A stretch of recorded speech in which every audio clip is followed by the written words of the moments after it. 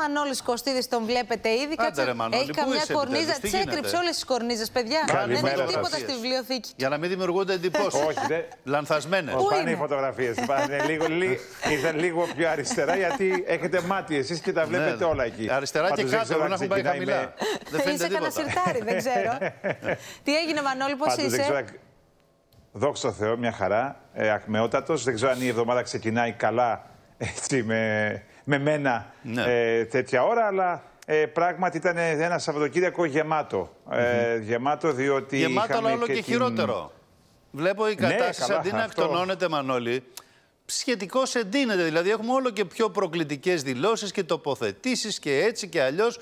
Τι συμβαίνει λοιπόν; Ε, κοιτάξτε, αυτό που παρατηρούμε είναι ότι ενώ η Τουρκία ε, όλη την εβδομάδα και όλες αυτές τις τελευταίες δύο-τρεις εβδομάδες προσπαθεί να εξομαλύνει ή τουλάχιστον να δείξει ότι εξομαλύνει τις σχέσεις της με την Ευρωπαϊκή Ένωση, δηλαδή και με τη Γαλλία και με ε, τη Γερμανία ε, και με τις Βρυξέλλες γενικώς, ε, με την Ελλάδα συνεχίζεται η ίδια ρητορική. Ε, Και βεβαίως θα μπορούσε να είναι ρητορική σε ένα απλό επίπεδο, να κατηγορήσουν την Ελλάδα για κάποια πράγματα, αλλά βλέπουμε ότι μιλάνε για προβοκάτσει, μιλούν για για παρενοχλήσεις, για έντονη ρητορική. Ακριβώς. και δεν το κάνει μόνο ένας. Και σε μια περίοδο, Μανώλη, που υποτίθεται τώρα που μιλάμε θα έπρεπε να έχουν ξεκινήσει ήδη διερευνητικές, η δεύτερη φάση, ο δεύτερος γύρος. Ναι, και, είναι, ε, και να δούμε πότε με το καλό θα γίνουν αυτές οι διερευνητικές. Αλλά και αν γίνουν, κοιτάξτε, μέσα σε αυτό το κλίμα, δε, μην περιμένουμε θαύματα. Ούτως ή άλλως δεν περιμένουμε από κανέναν γύρο. Έχουν γίνει τόσοι δεκάδες γύροι α, συνομιλιών. Όμως φαίνεται ότι η Τουρκία ε, δεν. Ε, επι- ε, μέχρι στιγμής δεν έχει δημιουργηθεί αυτό το κλίμα ε, εμπιστοσύνης. Τουλάχιστον εγώ θα- θα το πω όσο πιο διπλωματικά γίνεται.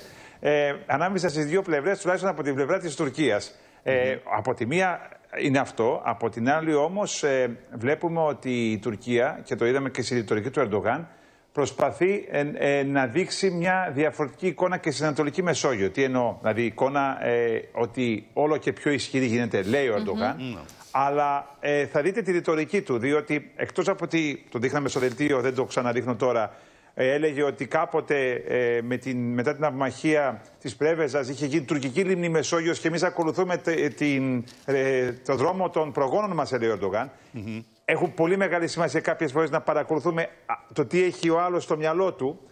Από την άλλη, ε, ε, θα δείτε τώρα τον Τούρκο πρόεδρο να λέει ε, ότι ισχυροποιείται το ναυτικό κτλ. Γιατί όποιος ελέγχει το ναυτικό ελέγχει και τον κοσμο Και, και εμείς ακολουθούμε αυτό το δρόμο, λέει ο Ερντογάν. Εγώ τα λέω για να άνοιξε καταλάβουμε τι αρκετά. ακριβώ. Το έχει διευρύνει το πράγμα, Μανώλη, αρκετά Για έτσι. να το δούμε. Για να το δούμε, ναι. denizlere hakim olan cihana hakim olur. Bu inançla özellikle deniz kuvvetlerimizin caydırıcılığının artırılmasına büyük önem veriyoruz. Ocak ayında Milgem projesinin 5. gemisi olan İstanbul Fırkateyninin denize iniş törenini gerçekleştirdik. Bu sene içinde test ve eğitim gemimiz Ufu ve çok maksatlı amfibi hücum gemimiz Anadolu'yu deniz kuvvetlerimize kazandıracağız. Önümüzdeki yıl ise yeni tip denizaltılarımızın ilki olan Piri Reis'i hizmete almayı planlıyoruz. Τον είδαμε εντωμεταξύ και μέσα στο Σαββατοκύριακο να κάνει δηλώσεις πάνω από το Roots Race και στην ίδια γραμμή η Μανώλη φαίνεται ότι είναι και οι υπουργοί του, όπως ο κύριος Τσαβούσογλου.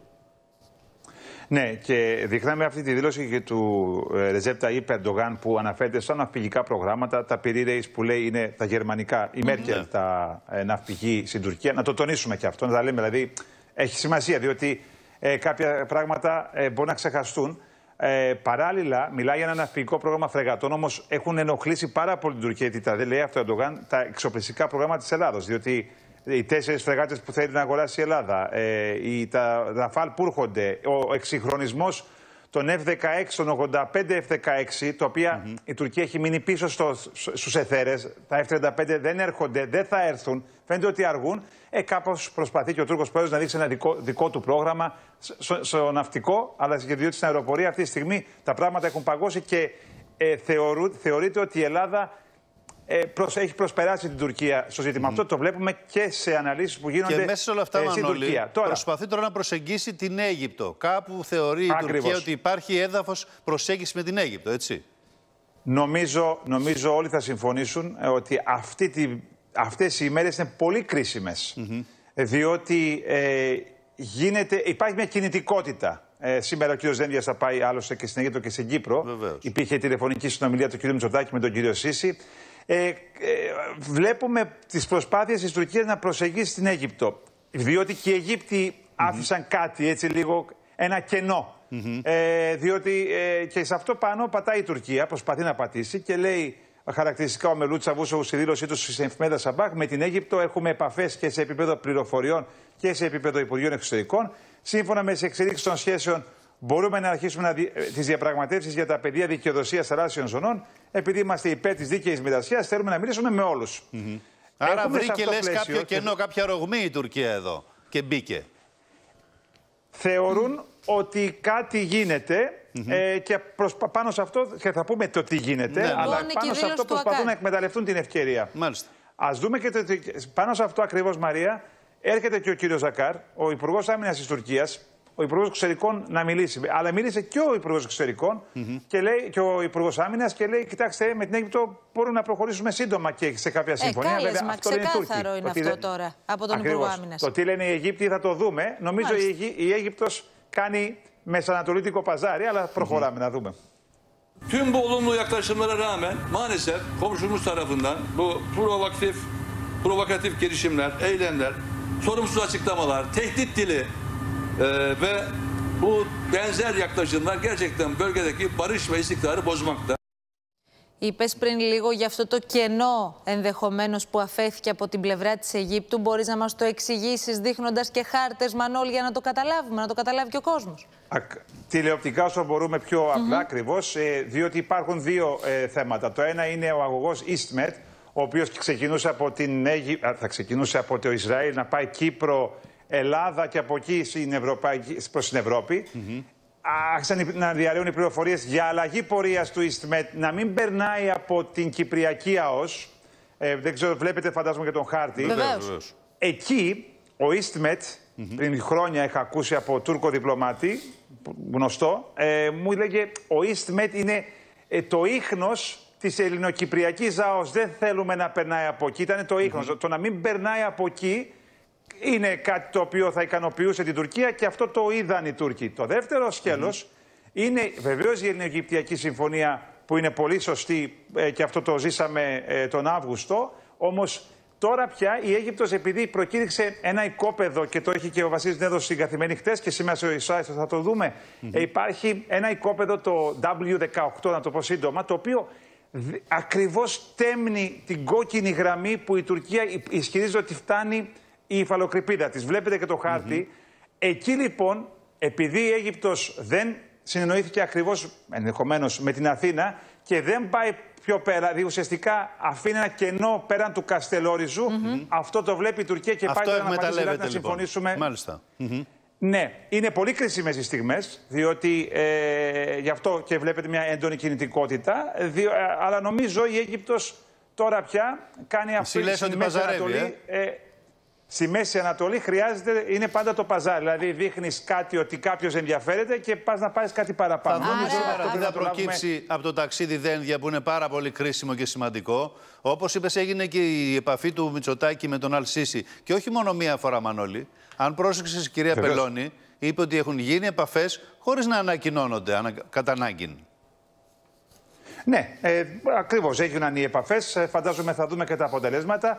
Ε, εγώ αυτό που δεν θέλω να μπω στο ρεπορτάζ το, ε, το ελληνικό, αλλά αυτό που γνωρίζω είναι ότι η αλλαγή πορείας του Ιστμέτ ε, διαβάστηκε προσεκτικά από. Η, η πιθανότητα αλλαγής. Πιθανότητα, βεβαίως, δεν υπάρχει δεδομένο. Αλλά διαβάζεται με μεγάλη προσοχή από την Τουρκία. Είναι σαν αλλαγή θέσης και, και εκεί βεβαίως και το οικόπεδο που ε, βγάζει σε δημοπρασία η, η αιγυπτος που ουσιαστικά δεν αναγνωρίζει ή αφήνει ένα κενό στο- σε- ανατολικά του Καστελόριζου. Αυτό το διαβάζει πολύ προσεκτικά Μάλιστα. η Άγκυρα. Υπάρχει όμως και το εσωτερικό της Τουρκίας και η κριτική που ασκείται από την πλευρά της αντιπολίτευσης, η οποία αντιπολίτευση διαστόματος Νταβούτογλου, όπως θα δούμε τώρα, πιέζει ώστε να συνεχίσουν, να συνεχιστούν οι διερευνητικές Μανώλη. Ναι, είχαμε μια ε, συνομιλία ε, με τον κύριο Νταβούτογλου την περασμένη εβδομάδα. Δημοσιεύτηκε χθες στην καθημερινή. Σήμερα μπορούν να το διαβάσουν όσοι επιθυμούν και στο site. και στο Twitter το Εξαιρετική έχω δημοσιεύσει. συνέντευξη, Μανώλη, για να Ε, καταλάβουμε λίγο και σε βάθος πώς σκέφτεται η Τουρκία και ποια είναι η γραμμή Προέδρου που λέμε. Ναι, κοιτάξτε, ο κύριος Νταβούντογλου ε, ή- δεν είναι τυχαίος, διότι καθόρισε από το 2002 ε, την εξωτερική πολιτική της Τουρκίας, το στρατηγικό βάθος, τα μηδενικά προβλήματα, όπως ο ίδιος έλεγε. Αργότερα έγινε υπουργός εξωτερικών το 9 μέχρι το 14 και πρωθυπουργός. Τώρα είναι αντίπαλος του ερντογαν Το Ναι, αλλά κατηγορεί άσχετα ότι από την κριτική στον απομακρύνεται- Ερντογάν, Μανώλη, στην εξωτερική πολιτική, την ίδια γραμμή έχει ο Νταβούτογλου. Σκληρή Ακριβώς, γραμμή έχει. Ακριβώς, διότι αυτό ήθελα να εξηγήσω. Από τη μία. Ε, εξ- Εδώ αστή- βλέπουμε σκληρή και κριτική- φωτογραφίες από τη κριτική. συνέντευξη Μανώλη τώρα. Ε, είχαμε μια συνομιλία περίπου μια μισή ώρα, μία ώρα συνέντευξη και μισή ώρα συνομιλία. Είπαμε Μάλιστα. πάρα πολλά και για το παρελθόν, αλλά κατηγορεί τον ε, Τουρκό Πρόεδρο ότι απομακρύνει την Τουρκία από την Ευρωπαϊκή Ένωση. Για τους εταίρους του Ερντογάν, δηλαδή τον κύριο Μπαχτσιλή κυρίως και τον κύριο Περιτσέκ, και ουσιαστικά λέει ότι εμείς θέλαμε καλές σχέσεις με την Κίνα, αλλά όχι να γίνουμε Κίνα. Έχει σημασία νομίζω αυτό. Από την άλλη όμως, ε, λέει για την Ανατολική Μεσόγειο, ουσιαστικά τηρεί την ίδια σκληρή γραμμή της Τουρκίας για την Ανατολική Μεσόγειο. Λέει ναι στις διενετικέ επαφές. Αυτό που του το ρώτησα επίμονα για το Καστερόριζο, διότι ο ίδιος είχε πει κάποτε ότι το Καστερόριζο δεν είναι Αιγαίο, δεν είναι στο Αιγαίο, είχε πει στην Αθήνα όταν είχε έρθει. Και λέει ναι, δεν είναι, πρέπει να το, ξεχω- να το εξετάσουμε ξεχωριστά το Καστερόριζο από το Αιγαίο. Είναι Μάλιστα. η πάγια ε, τακτική της Τουρκίας και γι' αυτό το λέω. Είναι κρίσιμη περίοδος το Έτσι είναι, Καστελόριζο. έτσι Ε, για άλλη μια φορά πάλι έρχεται στην επικαιρότητα.